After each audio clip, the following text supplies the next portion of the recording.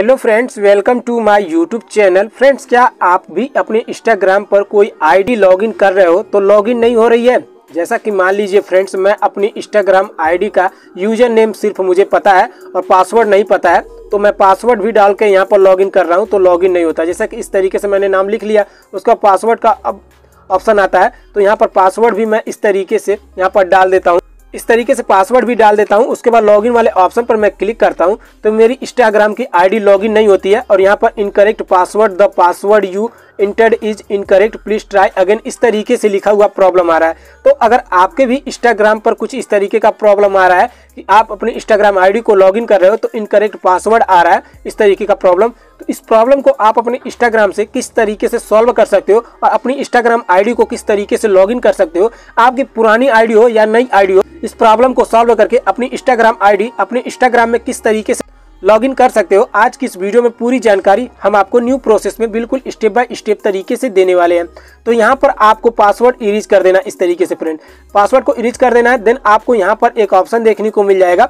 Forget password था, इस पर आपको क्लिक कर देना है। देन उसके बाद फ्रेंड्स यहाँ पर आपको एक ऑप्शन देखने को मिल जाता है फाइंड योर अकाउंट तो फ्रेंड्स यहाँ पर आपको ईमेल अगर पता हो तो ईमेल डाल दीजिए मोबाइल नंबर पता हो तो मोबाइल नंबर या तो यूज़र नेम अगर आपको पता है तो यूज़र नेम डाल दीजिए। तो सिर्फ़ मुझे यूज़र नेम पता है, ना ही ईमेल पता है और ना ही मोबाइल नंबर पता है। तो मैं यहाँ पर यूज़र नेम अपना डाल देता हूँ इस तरीके से। तो आप भी अपना यूज़र नेम डाल दीजिएगा। उसके बाद फ्रेंड्स यहाँ पर आपको पासवर्ड डालने की ज़रूरत नहीं है, सिर्फ़ फाइंड अकाउंट वाले ऑप्शन पर आपको क्लिक कर देना है।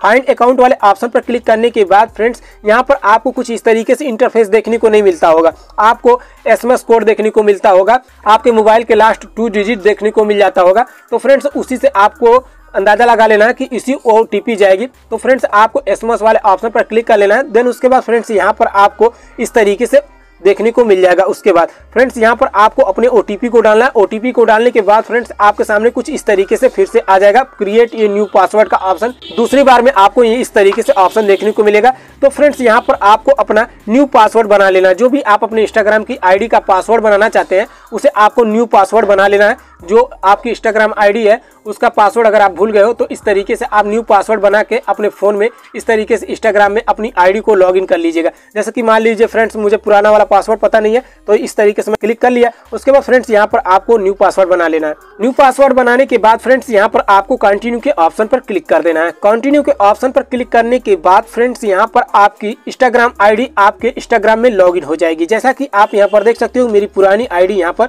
इंस्टाग्राम की लॉगिन हो चुकी है। तो फ्रेंड्स इस तरीके से अगर आप में इनकरेक्ट पासवर्ड दे रहा है, आप किसी भी अपनी इंस्टाग्राम आईडी को लॉगिन कर रहे हो इंस्टाग्राम में तो इनकरेक्ट पासवर्ड का ऑप्शन आता है। तो आप फारगेट पासवर्ड करके अपनी इंस्टाग्राम आईडी को इंस्टाग्राम में अपने इस तरीके से लॉगिन कर सकते हो। तो फ्रेंड्स ये छोटी सी जानकारी। अगर आपको जानकारी थोड़ा सा भी हेल्पफुल और अच्छी लगी हो तो प्लीज़ वीडियो को लाइक करके चैनल को सब्सक्राइब कर दीजिएगा।